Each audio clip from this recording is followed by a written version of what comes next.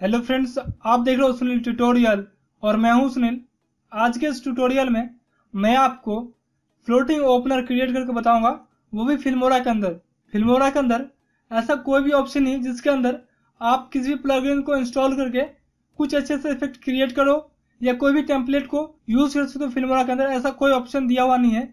But मैं आपको Filmora के ही दिए हुए फीचर्स को यूज़ करके आपको मैं बताऊँगा कि आप किस क्रिएट कर सकते हो। फ्लोटिंग ओपनर जैसा आपको स्क्रीन पर दिख रहा होगा। सेम टू सेम हम क्रिएट करेंगे। तो चलिए शुरू करते हैं आज का वीडियो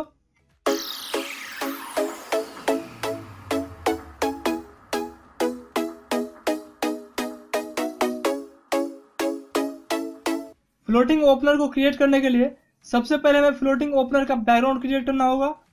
तो उसके लिए आप किसी भी ऑनलाइन वीडियो एडिटर का यूज़ कर सकते हो, या आप मोबाइल में पिक्सल लैब को यूज़ कर सकते हो, जिससे आप कुछ इस प्रकार का एक सिंपल बैकग्राउंड यूज़ कर सकते जो कि ग्रेडियंट बैकग्राउंड है। अगर आप किसी फ़ोटो एडिटर का उपयोग नहीं करना चाहते तो आप फिल्मोरा के सैंपल कलर में जाइए, और यहाँ से आपको बहुत सारे कलरफुल बैकग्राउंड और ग्रेडियंट बैकग्राउंड देखने को मिल जाएगा। आप यहीं से किसी को भी चूज़ कर सकते हो। जस्ट मैं अपने इस ग्रेडियंट बैकग्राउंड को यूज़ कर रहा हूँ।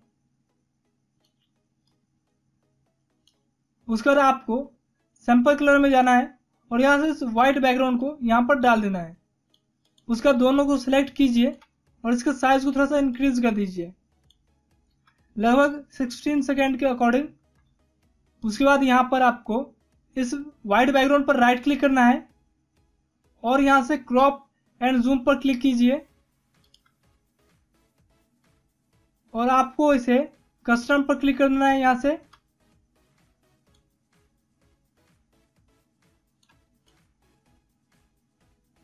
और कुछ इस प्रकार से आपको एक रेक्टेंगल क्रॉप करना होगा।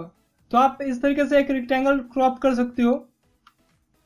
आप में से कुछ लोग बोलोगे कि इस तरह से रेक्टेंगल क्रॉप करने से अच्छा मैं टाइल्स में जाकर कस्टम में जाकर एक रेक्टेंगल शेप ड्रॉ कर लूँ। बट वो हमारा इसमें काम नहीं आएगा। हमें एक एक रेक्टेंगल बैकग्राउंड चाहिए। उसके बाद आपको उस वीडियो को यूज़ करना है, जिस वीडियो पे आप काम कर रहे हो। जैसे मैं इस वीडियो को बना रहा हूँ तो मैं इस वीडियो को तो इसमें ऐड नहीं कर सकता बट मैं अपने इंट्रो को एग्ज़ाम्पल के लिए ऐड कर रहा हूँ। जैसे कि ये मेरा सुनी ट्यूटोरियल का इंट्रो है तो मैं इसे यहाँ पर डाल देता हूँ। उसके बाद आप एक और ऐड कर दीजिए, क्योंकि मेरा इंट्रो जो है बहुत छोटा है। उसके बाद आपको कुछ इस तरीके से एडजस्ट कर लेना है। अब देखिए, पूरे में मेरा इंट्रो चल रहा होगा। जैसे ही आप अपना वीडियो जैसे आपका वीडियो चल रहा होता है, आप बीच में इस ओपनर को डाल सकते हो किसी भी प्रकार का टॉपिक शो करने के लिए। मैं बताता हूँ आप किस से अपना टॉपिक शो कर पाओगे वीडियो के बीच में। तो उसके लिए जैसे ही आप वीडियो के एकदम सेंटर में आ रहे हो, या कहीं पे भी स्टार्टिंग के बाद, आपको वहाँ पर सेलेक्ट करना है अपने इस वीडियो को लेयर को। उसके बाद आप वीडियो के टैब में होगा। आपको एनिमेशन के टैब में जाकर कस्टमाइज पर क्लिक करना है और यहाँ से एक की फ्रेम ऐड करना होगा। थोड़ा सा आगे जाइए। और यहाँ पर आपको इसके स्केल को थोड़ा सा कम कर देना होगा। और इसके पोजीशन को भी आपको चेंज करना होगा। तो आपको इसके एक्स पोजीशन में थोड़ा सा चेंजेस करना होगा। जैसे लेफ़्ट की ओर इस तरीके से एडजस्ट कर लीजिए। अब देखिए, मैं यहाँ पर आपको प्ले करके दिखाता हूँ। ये देखिए, ये आपको कुछ इस प्रकार से देखने को मिलेगा। उसके बाद थोड़ा सा आगे जाइए। लगभग यहाँ पर। उसके बाद यहाँ पर इस वीडियो को सेलेक्ट कीजिए और यहाँ से ऐड के फ्रेम पर क्लिक कर दीजिए। और यहाँ पर आपको सेम साइज़ रखना है जिससे कुछ चेंजेस ना हो। बट आप में सेम ही होगा। क्योंकि मैं यहाँ पर दो वीडियो को यूज़ कर रहा हूँ तो यहाँ पर स्क्रीन स्प्लिट हो रहा है। तो यहाँ पर देखिए, यहाँ पर हमारा 109 परसेंट है माइनस में, और यहाँ पर 51 है स्केल इसका। तो आपको यहाँ पर आना है, और इसे 100 यहाँ पर माइनस वन नाइन कर देना है, और यहाँ से फिफ्टी वन कर देना है। अभी आप इसमें से जहाँ पर ये दोनों वीडियो अलग अलग हो रहा है, वहाँ पर आपको कुछ इस तरीके से करके चेक करना है कि सच में इसका पोजिशन चेंज या स्केल चेंज तो नहीं हो रहा है। अगर आपको कुछ भी ऐसा अंतर या डिफरेंट देखने को नहीं मिल रहा है तो उसके बाद आपका काम परफेक्ट हो चुका है। अगर आप यहाँ से कुछ चेंजेस कर भी दोगे तो वो आपको सिंपली पता चल जाएगा, इसके बीच में एरो आ जाएगा। क्योंकि वो आपका एक फुल वीडियो होगा, यहाँ पर मैं यहाँ पर दो वीडियो यूज़ कर रहा हूँ। इसलिए यहाँ पर एरो नहीं आएगा। उसका थोड़ा सा आगे जाइए और इस वीडियो को सिलेक्ट कीजिए और यहाँ से रिसेट बटन पर आपको क्लिक कर देना है, जिससे जो भी सेटिंग आपने अप्लाई किया होगा, वो रिसेट हो जाएगा। कुछ इस प्रकार ये आपको देखने को मिलेगा।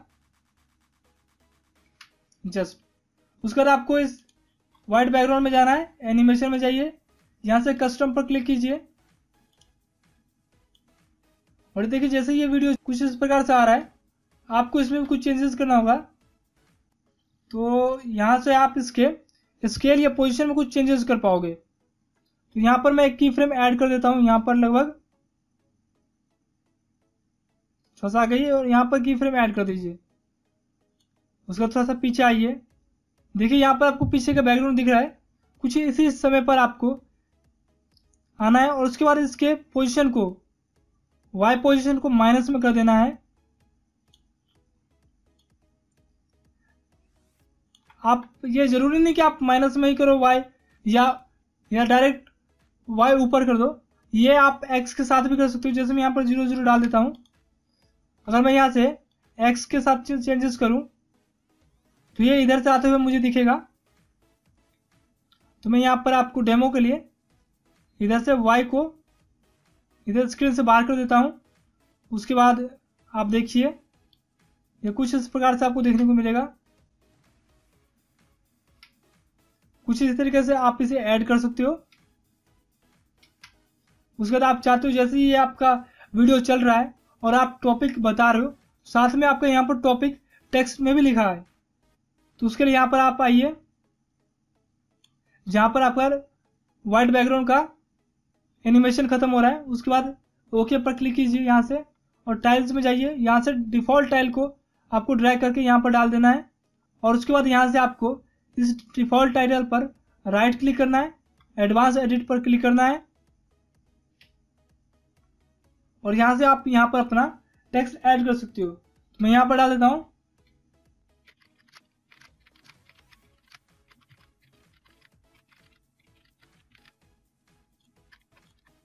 उसके बाद आपको इसके कलर को ब्लैक कर देना है। तो इसके लिए आपको यहाँ से इसके टेक्स्ट के कलर को चेंज करना है। ये ज़रूरी नहीं कि व्हाइट पे आप ब्लैक ही यूज़ करो। जैसे मैं यहाँ पर ब्लू यूज़ कर रहा हूँ तो आप ब्लू भी यूज़ कर सकते हो रेड भी यूज़ कर सकते हो। कलर आप पर टोटली डिपेंड करता है। ये जो बार देख रहे हो आप व्हाइट कलर का, ये भी आप अपने अकॉर्डिंग एडजस्ट कर सकते हो इसका कलर इसका साइज़ या हाइट या विथ ये सभी आप अपने अकॉर्डिंग चेंजेस कर सकते हो।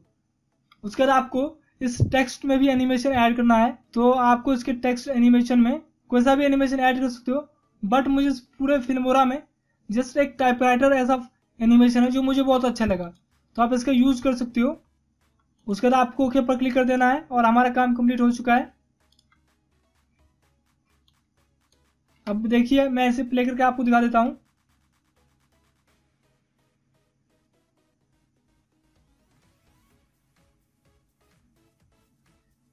इंट्रो को मैंने जस्ट एक एग्ज़ाम्पल के लिए लिया है। आप इसके जगह अपना वीडियो यूज़ कर सकते हो। जैसे यहाँ पर स्टाइटल का टाइम खत्म हो रहा है, ये डायरेक्ट गायब हो जा रहा है। तो हमें इसे भी फिक्स करना होगा। उसके लिए आपको इस पर सिलेक्ट करके राइट क्लिक करके एडवांस एडिट पर क्लिक करना है। और यहाँ पर इसके एंड पार्ट को थोड़ा सा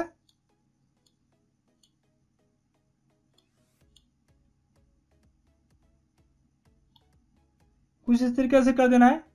जैसे ये इरेज होते भी दिखे।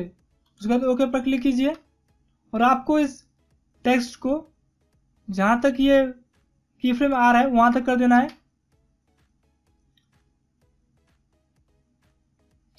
जिससे ये और भी अच्छा दिखे। उसके बाद अगर आप यहाँ पर कोई आइकन या किसी भी प्रकार का इमोजी यूज़ करना चाहते हो तो वो मैं आपको बता देता हूँ, वो आप किस तरह से यूज़ करोगे? तो उसके लिए जस्ट आपको इस पर राइट क्लिक करना है एडवांस एडिट पर क्लिक कीजिए। उसके बाद यहाँ पर क्लिक कीजिए। और उसके बाद आपको अपने विंडोज़ की को प्रेस करने के साथ डॉट को भी प्रेस करना है। और यहाँ पर देखिए इमोजीज का ऑप्शन आपके सामने इनेबल हो जाएगा। तो आप यहाँ से इमोजीज को भी ऐड कर सकते हो। मैं यहाँ पर इंटर करता हूँ। और यहाँ से कुछ इमोजीज को मैं यहाँ पर ऐड कर देता हूँ। जैसे कि हार्ट शेप को जिसमें यहाँ पर सिंपली हार्ट को यूज़ कर लेता हूँ। उसके बाद यहाँ से, से क्लोज पर क्लिक कर दीजिए। ये देखिए यहाँ पर हमारा हार्ट आ चुका है वो भी ब्लू कलर में। ये आपके टेक्स्ट पे भी डिपेंड करता है। तो आपको इस हिसाब से टेक्स्ट सेलेक्ट करना होगा। उसके बाद आपको ओके पर क्लिक करना है। और ये देखिए यहाँ पर हमारा इमोजीज भी ऐड हो चुका है। और ये भी एनिमेशन में ही आएगा और एनिमेशन में ही जाएगा। जैसे आप यहाँ पर देख लीजिए। और उस इफ़ेक्ट का नाम है मिल्ड आपको इसे यहाँ पर ड्रैग एंड ड्रॉप करना होगा, जहाँ से आपकी फ्रेम स्टार्ट हो रहा है। जैसे देखिए, ये यहाँ पर आया। उसके बाद यहाँ पर देखिए, ये इस तरीके से आपको शेक होते हुए दिखेगा। तो आपको वहाँ तक इसको स्ट्रेच करना होगा, जहाँ तक आपका की फ्रेम है। स्ट्रेच कर लेना है। अब देखिए, ये एकदम शेक हो रहा है। हमने एकदम मस्त ओपनर क्रिएट कर दिया है। और इसी प्रकार से आप अपना ओपनर क्रिएट भी कर सकते हो। तो इसी तरीके से आप अपना कस्टम ओपनर क्रिएट कर सकते हो। चाहे तो आप इसी प्रकार को क्रिएट कर सकते हो, या आप इससे बेहतरीन ओपनर भी क्रिएट कर सकते हो फिल्मोरा के अंदर। अगर इस वीडियो में आपने कुछ नया सीखा तो वीडियो को लाइक कीजिए चैनल को सब्सक्राइब कीजिए, और हमें कमेंट कर ज़रूर बताइए कि ये वीडियो आपको कैसे लगा। और आप मुझे इंस्टाग्राम पे फॉलो कर सकते हो at the rate Mr Shiva Kumar Instagram का लिंक और मेरे website tech solution pro dot blog का लिंक आपको इस वीडियो का डिस्क्रिप्शन में मिल जाएगा। आप वहाँ से मैं फॉलो कर सकते हो। तब तक के लिए जय हिंद, जय श्री राम।